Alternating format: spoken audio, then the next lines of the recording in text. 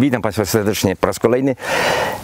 Myślałem, że przy piątku będzie troszeczkę spokoju. No, i jak w tym kabarecie Nonówka dzisiaj Sejm i tak mi podbił ciśnienie, że ledwie, ledwie się mogłem e, jakoś dojść do przytomności. W sytuacji tak głębokiego kryzysu, kiedy w gospodarce dzieją się takie patologie, e, dzisiaj premier i, jego ministrowie wychodzili na trybunę, żeby mówić, jak jest świetnie, jak jest doskonale. E, w biznesie od lat funkcjonują w pracowniach sondażowych różnego rodzaju wskaźniki. Wskaźniki optymizmu, wskaźniki, e, które pozwolą prorokować, przewidzieć, co się wydarzy w najbliższym czasie w gospodarce. Ostatnimi czasy te, te e, wskaźniki są po prostu przerażające. Oczywiście kryzys jest w dużej części zjawiskiem psychologicznym, bo to z jednej strony jest, e, ja boję się słowa, chciwość, a z drugiej strach. Czyli z jednej strony byś chciał, a z drugiej strony się boisz. No i w tej chwili dominuje, zaczyna dominować e, strach, czyli lęk przed wydawaniem pieniędzy. Generalnie. Pieniędzy, których na rynku niestety, niestety mówię, jest coraz więcej. I teraz zaczynają się działania państwa. Państwo, ja dzisiaj z przerażeniem przeczytałem, z przerażeniem, że ponad 2 miliony podmiotów gospodarczych jednoosobowych będzie w przyszłym roku płaciło o 2,5 tysiąca więcej ZUS-u jako minimalną składkę o 2,5 tysiąca więcej, no, no tragedia. Czyli państwo się bardzo mocno stara o to, żeby ten zdrowy kawałek gospodarki, jaki są firmy jednoosobowe, nie, nie, nie zadzierał do góry e, nosa. E, są inne niebezpieczne sygnały. Z czasów ministrowania ja mam doskonałą relację z branżą transportową.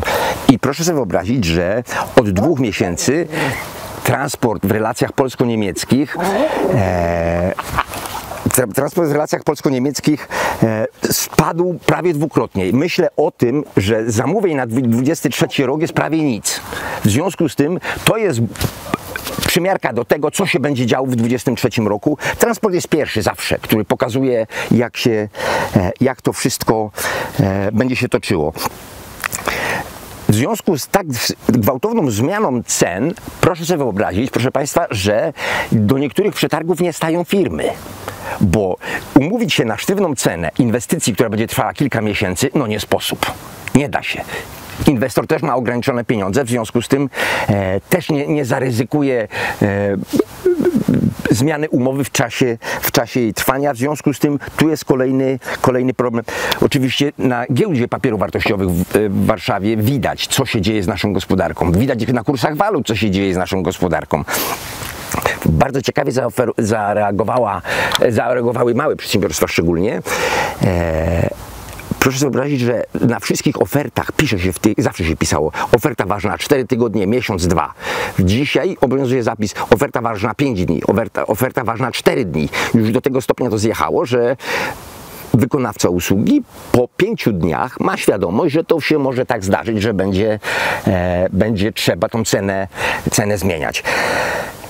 No i do tego działania państwa, które do, doszły wręcz do, do jakiegoś zwariowanego e, zachowania, dosypując takimi falami pieniądze na rynek w sytuacji, kiedy inflacja tak szaleje. Przypomina mi to trochę, chyba Einsteinowi trzeba to przypisać, e, definicję obłędu. Regularne powtarzanie tej samej czynności w oczekiwaniu na inny rezultat. Rząd dorzuca trzynastkę i z wyliczeń wychodzi, że siła nabywcza emerytów jest mniejsza. Rząd dorzuca czternastkę, siła nabywcza jest mniejsza. Regularnie powtarza tą samą czynność, oczekując na to, że siła nabywcza będzie mniejsza. Einstein miał rację, obłęd. Tak jak się umawialiśmy tydzień temu, e, w tygodniu, w którym się przytrafił 1 września, e, czyli dzień, w którym e, nasze dzieci poszły do szkoły, dobrze byłoby porozmawiać o tym, zapowiadającym się na bardzo trudny rok szkolny. Ja zacznę może od swoich wspomnień nie chcę mówić ile, grube 50 parę lat temu, kiedy ja zaczynałem swoją edukację w szkole powszechnej, że tak ładnie powiem, e, chyba nie istniało zjawisko wyprawki. Ja pamiętam nowe zeszyty, pamiętam ich zapach, pamiętam stare książki, bo ze starych książek się uczyło. Pamiętam, jak awansowałem w, w hierarchii uczniowskiej, bo dostałem nowy piórnik od mamy. To jest poważny facet, który ma piórnik. E, i, i, I jakiegoś takiego, natomiast dzisiaj to przybrało jakiś taki strasznie ceremonialny charakter. Nawet mój dzidziuś, dzidziuś jest duży, ma 42 latka, ale jak szedł do szkoły, to chyba też takiego, tak, nie, coś tam jakaś tytka była, no, jakieś takie rzeczy były. Natomiast w tej chwili przybiera to takie, taką demonstrację siły, to znaczy, że ten ma ładniejsze zeszyty, ten ma coś tam, okej. Okay. Natomiast brutalna rzeczywistość jest taka, że tych ludzi najczęściej nie stać na to, co by można kupić dziecku, bo w odczuciu rodzica on by zasługiwał na to kochający rodzic chciałby temu dziecku kupić jak najlepsze rzeczy, a w zdarzenie z, z cenami w sklepie jest takie, że, że nie, bardzo, nie bardzo jest wszystkich stać. Jakieś działania rządu, że plus 300, to z tego co słyszę i czytam fachowców, bo nie znam tych cen dokładnie, to wystarcza tylko na jakąś na ćwiczenie, nie na jakieś tam książki podstawowe czy na zeszyty. Natomiast trzeba dać jeszcze drugie tyle, żeby to dziecko jakoś tam e, wyposażyć. E, I tak jak się umawialiśmy, pojawiły się od Państwa e, pytania. Pani e, Małgorzata Kubiok apeluje o to, żeby nauczyciele uczyli prawdy w Polsce. Ja, Pani Małgorzato, ja wiem do czego Pani zmierza. Myślę, że świetnym sposobem na to będą stosowne zachowania jesienią przyszłego roku.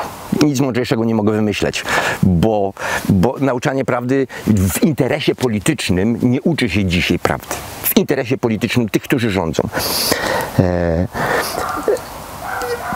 Pani e, Anna Myszczyszyn zwróciła uwagę, o to chyba to było źródło mojej wiedzy, napisała, że kwota 300 zł, która wystarcza na ćwiczenia e, i podręczniki do języka obcego i to dalej, śmieszne, daliśmy. No, no, co, co, nic dodać, nic ująć. Dzięki Pani Aniu, bo bardzo bliska mi taka, e, taka metodologia myślenia. Pani e, Grażyna Kubiszewska pisze, moim zdaniem co roku nie trzeba kupować całej wyprawki, moje, moje lata w szkole były biedne, o, o, coś, coś o tym było już chyba dzisiaj. Za to bardzo szczęśliwy, miałem wspaniałych nauczycieli i to najważniejsze i bez wyprawki e, bez, te, też się da. No, mówiłem o swoich wspomnieniach i o wspomnieniach mojego dziecka, co się to teraz e, Andrzej Orłowski to przecież oczywiste, jak mogło być in... Aha, tutaj jest to pytanie dotyczy e, Panie Andrzeju gospodarki, to wrócimy w odpowiednim, w odpowiednim momencie pojawiły się jeszcze inne zjawiska, które wcześniej nie występowały, e, a mianowicie e, brak 20 tysięcy e, nauczycieli. I przy tak niskich uposażeniach my będziemy mieli kłopot za chwilę, bo ci nauczyciele, znaczy będzie ich tak mało, że będą dziury w szkole, w szkołach. Już ci kombinują ci dyrektorzy szkół. Związki zawodowe rozpoczęły dzisiaj jakąś akcję. Nie bardzo wiem, do czego się ten proces sprowadza, natomiast z jakiego powodu to, to oczywiście wiem przy 16% e, inflacji propozycja Donalda Tuska sprzed kilku tygodni, aby o 20% podnieść płace e, e, nauczycieli, wydaje się być tylko rekompensatą tego, co się wydarzyło na rynku, żadna podwyżka. To w związku z tym jest niejako obowiązkiem wrócić do tego. Nie wiem, co rząd proponuje w budżecie 2023, ale zdaje się jednocyfrową e, kwotę, jeżeli chodzi o e, rekompensaty. Zadałem Państwu zagadkę szachową. Nie szczędzę sobie obcowania z moją pasją i może dzisiaj jest dobry moment na to, żeby, żeby odpowiedzieć, jak to wygląda. Proszę zwrócić uwagę, król praktycznie stoi w siatce matowej. Nie ma pola, na które mógłby się ruszyć. Oprócz tego piona, który tu przeszkadza. Ja Państwu sugerowałem, że e, kluczem do rozwiązania tej zagadki mat w jednym posunięciu jest odkrycie ruchu, jaki wykonały czarne ostatniego. W związku z tym, proszę zauważyć, gdyby tego pionka nie było, jest mat prawda? Król nie ma pola do, do ucieczki. W związku z tym, co się wydarzyło jak ostatni ruch czarnych? A mianowicie czarne prawdopodobnie, nieprawdopodobnie, na, jestem pewny, pionem E o dwa pola. I co się dzieje w takiej sytuacji? Rzadko stosowany ruch, bicie w przelocie. Z D5 na, na E6. I co my mamy? Czyściutkiego, pięknego mata. Chciałem jeszcze raz w tym tygodniu wrócić do sprawy e, katastrofy ekologicznej na Odrze, bo sądziłem, że ten temat znajdzie uznanie w oczach rządu, ale dzisiaj patrzę w Sejmie, w zasadzie pozamiatany temat, bo owszem, co istnieje, ale to jest efekt inicjatywy posłów e, opozycyjnych, żeby dla tych przedsiębiorców, którzy na Odrze e, w pełni tego słowa znaczeniu popłynęli z interesami, to znaczy ci, którzy jakieś przystanie kajakowe, jakieś restauracje, jakieś agroturystyki, tam było tego mnóstwo, szczególnie lubuskie i zachodniopomorskie, to e, tak się złożyło, że rząd w swej niezmierzonej dobroci, niewysłowionej łasce zdecydował się im odpalić po trzy tysiaki ludzi, którzy mają zatrudnionych po już nie wiadomo ile, jakie prowadzą duże, duże interesy i po 3000 zł chce im w ramach rekompensaty rząd wypłacić. No kompromitacja. Kompromitacja. Tak strasznie chciałem coś Państwu powiedzieć pozytywnego na koniec tego tygodnia, a naprawdę ciężko mi się dokopać do, do jakichś, jakichś takich bardziej e, ciekawych myśli. No oprócz tego pięknego mata na szachownicy.